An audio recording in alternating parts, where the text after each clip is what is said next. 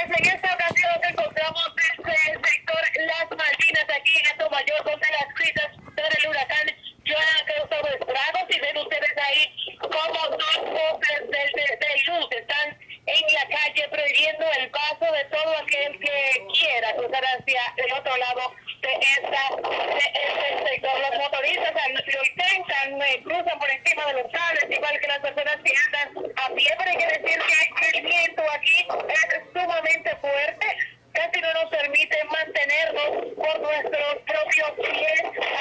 Además, algunos de algunas de, de negocios y algunas casas, ahí no sé si lo pueden escuchar ustedes, cómo intentan despegarse por el fuerte viento. Aquí en este lugar hay muchas personas en la calle que están eh, aparentemente bañándose en el aguacero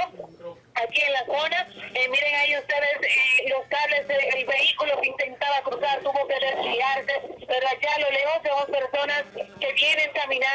mientras estábamos aquí esperando contactar con ustedes. Vimos a personas cruzando como ese motorista que ven ustedes ahí que intenta cruzar por donde están los postes de luz caídos y aparentemente otros eh, pueden también caer porque vemos ahí como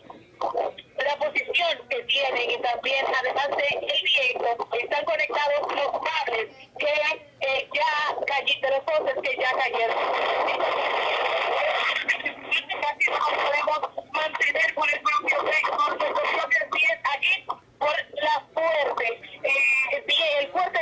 está ocurriendo aquí en esta área específicamente de Atomayor, muy diferente como estábamos más abajo en las en Cuelí y también en Las Por el momento es la información que tengo. Vamos a pasar con ustedes a ese ambiente,